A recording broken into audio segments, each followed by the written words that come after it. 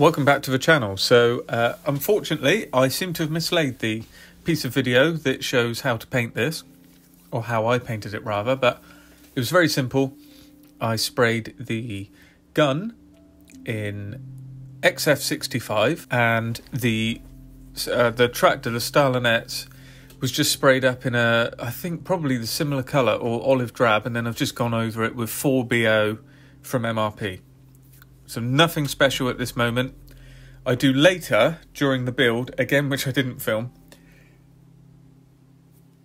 put a camouflage on the front of the gun, which I started to notice in all the um, uh, reference that I was looking at. So I thought, well, we'll just whack something on, and that was simple MRP uh, German, you know, tank colours, simple stuff. So uh, here I'm just putting a bit of metallized effect on the uh, sort of steel edges of the wheels, which uh, would be quite well highly polished or dull metal. And then we're back to the tracks. So as we did in the last video, using the dust and rust set still, um, I'm just trying to get a sort of handle on it all. Um, so continually using it. And this is one set of tracks that I've done, and the other set is just the basic, like initial stage.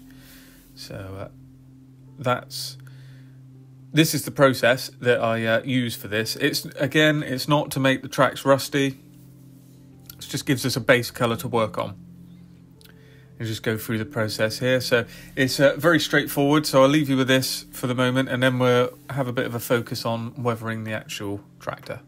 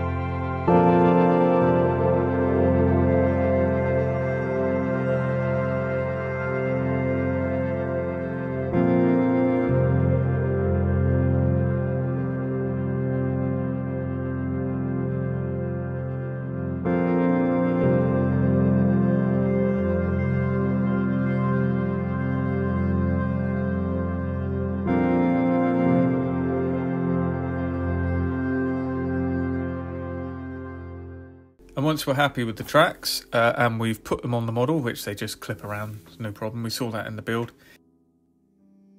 Time to start with the initial washes.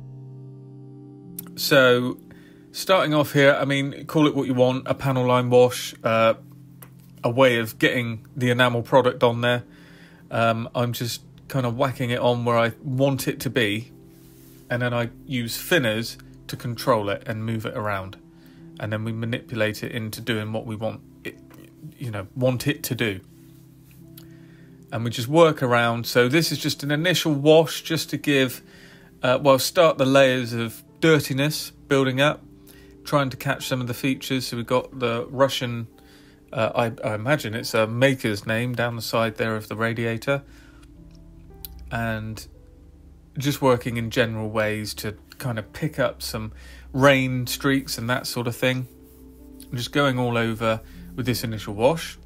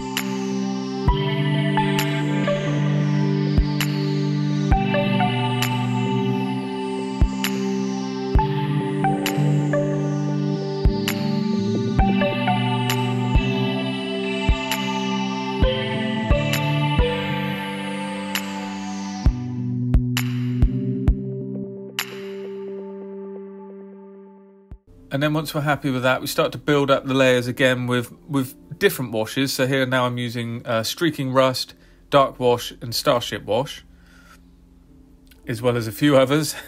Track Wash, Dark Streaking Grime. I mean, they're all just. It, this is instead of putting five or six different colours of oils on a piece of card. This is just my way of doing it, where it's a little bit faster. These are all the ones that I've chosen to use. Uh, they're five pounds a pot, so you know you've got to take your you you you've got to make your decision with what you want to do. You could buy a pot a a, a um I don't know what you call it a tube of oil paint, and it would be similar price and probably last you a lifetime. Uh, but I prefer the way these are sort of set up and how we can just use them straight out of the pot, and that's what we're doing here. So you can see behind where I'm putting these uh, wet, neat uh, enamel washes on at the minute, that behind there there's a bit of patina built up, and that was the previous step, just going on there and just working it into areas uh, broadly. And now you can see we're going on picking different colours and being more specific in areas. And that starts to build up, again, that layering effect. It, it builds the depth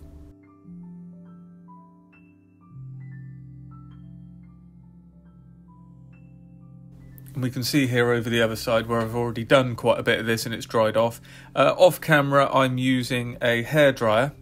Brilliant piece of kit for uh, the model room. You'd be surprised how much you'd use it if you didn't have one in there.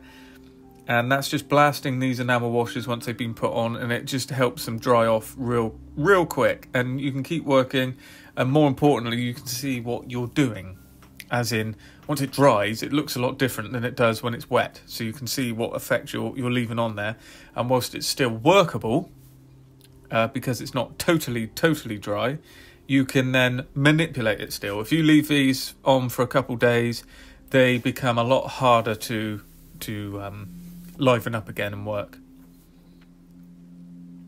So you see, we're just picking up some points where there'd be a bit of streaking and a bit of like runs or, or a bit more depth, or where some of this darker deposit would build up around these air vents and down around the cab. So it's just picking out points like that.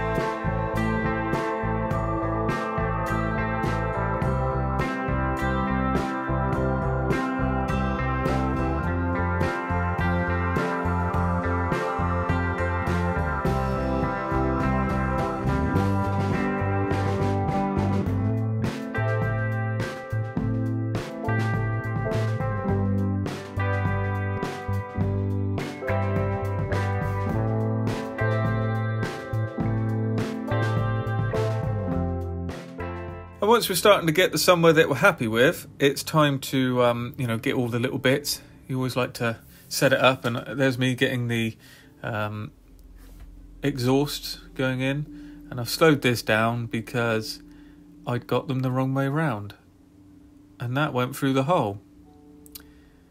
And I'm paused here, thinking, well, I'd kept this model for an entire year, and I'd taken it to Telford and I'd kept those two exhausts as part of it, thinking, right, well, that'll be the last thing I'll do.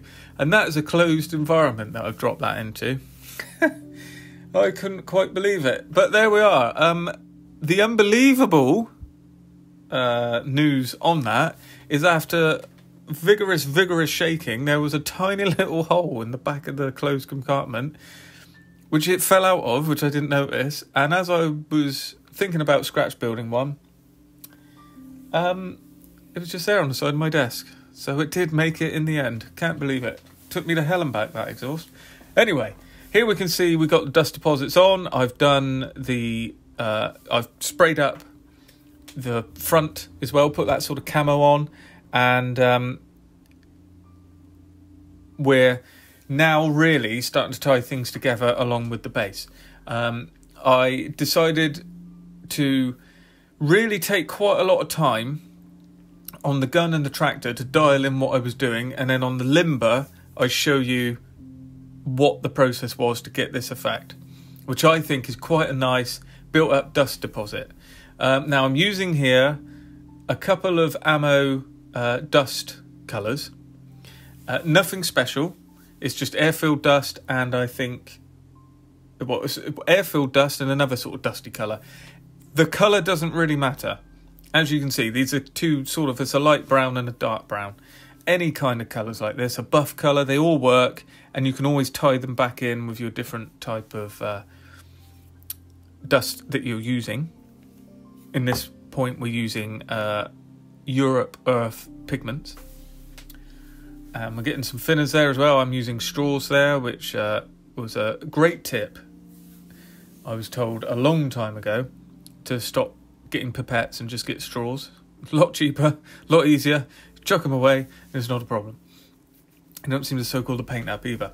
So what we do is make this enamel wash into a really, really wet wash, which is not easy to say. And then we go all over the areas that we want this pigment to be in. And I must admit, this is a bit, it, like like the gamers say, this is a little bit slap chop. It is just chucking it on there.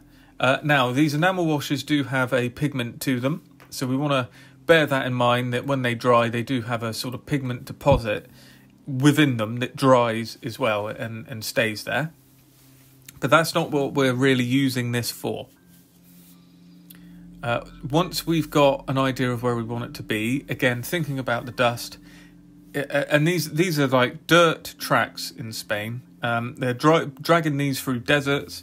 Uh, there are rains. It does rain in Spain, sometimes in the desert, and that will make some of the dust and the sand stick. And that's what we're kind of giving an idea to. This isn't like wet mud. This is worked in, caked in dust, and all the photos that you see of any Spanish stuff is absolutely caked in it. It really is, and um, it's like what you see with German vehicles in Russia, but worse, seemingly. So now we get our pigment of choice, and we go over. Well, it's still a little bit wet. What I've done is blasted this with the hairdryer, and it's kind of ninety percent dry.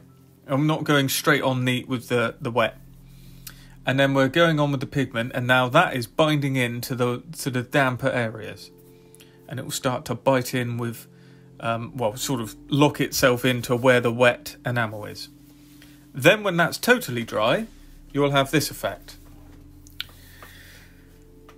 and it's the next step that starts to make this look realistic and ties it all together so then we get a dry brush that hasn't had anything this is a brush i just keep for doing this this hasn't hasn't had enamels on it like neat. I've never dipped it into enamel or thinners or anything like that. I always try and keep it dry.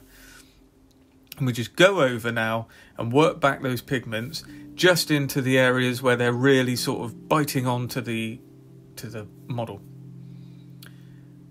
And that will start to show a sort of worn, dusted, um, like trodden in, dirty, but sandy effect, which is what we want. And this wouldn't work with everything, you know. You would, this wouldn't work with sort of heavy mud, but it is quite good for dusty-looking vehicles. Again, which you know crop up in sort of Normandy and in Russia, if you in Second World War stuff. Obviously, modern vehicles, and here in um, Spanish vehicles.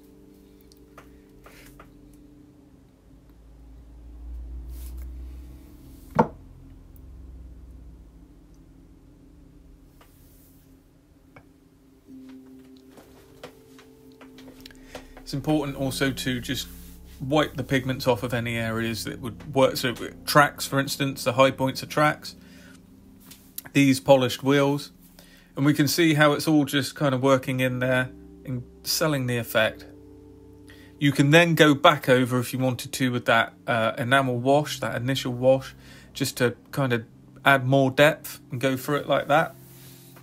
It's they're the sort of principles I would encourage you to sort of find your own way through it and, and come up with some ideas that you like because uh, it is it's it's it's a really fun thing to do when you get into it.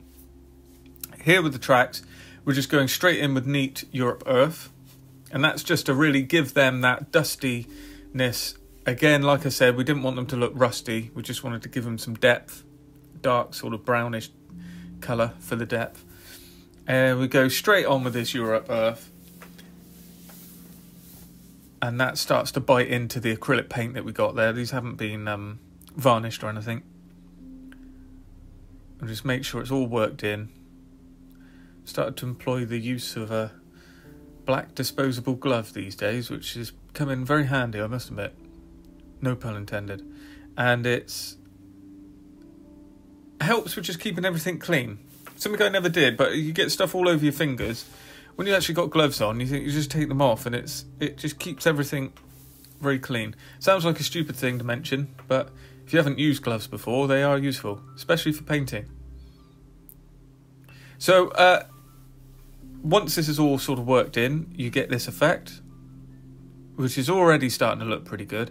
Then we get that dry brush again, and we just go back over just to get the sort of uh, not attached real dustiness off. And you can see the difference there. Now it's worked in up against where the uh, sort of contact plate is.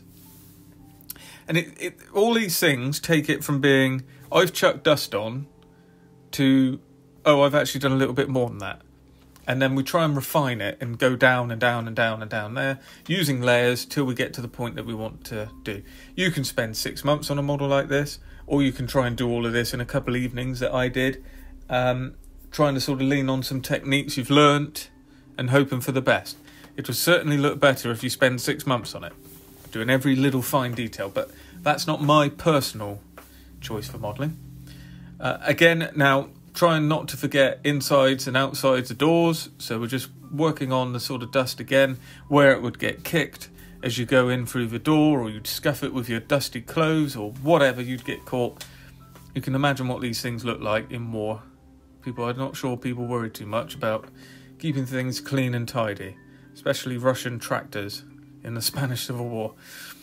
But you can see everything's now is tying together, and that's one of the important things you want to look for is to try and make sure everything looks like it's gone through the same story, the same area. It's it's it all ties together rather than having like this right hand track which I haven't done. Um, I usually do one so I understand and then film it and then sort myself out on the other one either on or off camera. Um, it all tends to come together. You can see the base here as well. This was made a long time ago. Um, it wasn't filmed again. It's simply a piece of foam cut to a shape with balsa wood sides glued on. They were painted black. The top is just a little bit of groundwork from ammo, simple out the pot stuff, sprayed up different colours, and then at the end I go back over and paint this um, side black again. Now we're going to do the dusting technique, which is as old as the hills. I remember looking at Tamiya model magazines from very early 2000s, and if not only if if it wasn't the year 2000, and um, this was being employed in there at that point. It's a very old technique. This is Tamiya buff, extremely thin down to about 90%, and you just work it on. I'm going to leave this here so you can see it build up in real time, so you see what we got now, and then what we got at the end. And this is one of those sort of magic things that just ties everything together.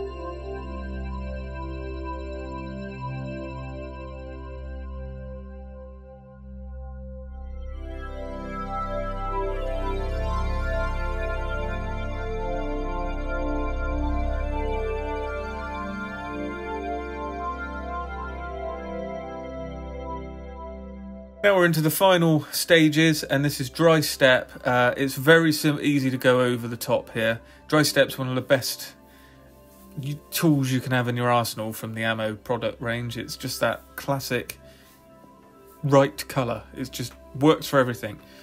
I'm just putting on a few splashes here. Now, again, we're not doing a wet kind of deposit scene, but this again just helps tie everything in, adds a little bit of depth. We're also thinning some of it down as well and running it in next to any of these high points on the tracks. Going really thin, letting it build up, and then as it dries back, we get a bit of a deposit. You can see some of the flecks here across the tracks, some of which I work back a little bit with uh, neat thinners, some I don't, all up the sides there as well. Um, and uh, we tone it down, which you'll now see in the coming photos which I'm um, I'm really proud of this one. I, I like it. I don't think it's like necessarily my best work per se, but it's it's along the journey. It's getting me to where I'm hoping I can be, and I'm hopefully there's some techniques here that you can um, use for yourself. And it's really nice to have a, a piece like this in my collection for the Spanish Civil War, and this will be on the table for our IPMS SIG at Scale Model World in Telford in November. So if you are finding yourself at that event, do come across the to the uh, Spanish Civil War table, which is where I'll be. I run that SIG. This will be there along with uh, a video that's coming soon as well. So we've got another Spanish Civil War subject, and um, there we are. Hopefully, that's something a little bit different on YouTube. I don't imagine you're getting many Spanish Civil War armor subjects. So, on that note, if you'd like to keep in touch with everything that I'm putting up, do consider subscribing to the channel if you haven't already. Love to know your thoughts down below in the comments. Do consider giving the video a like if uh, you've liked what you see, and I'll see you in the next video.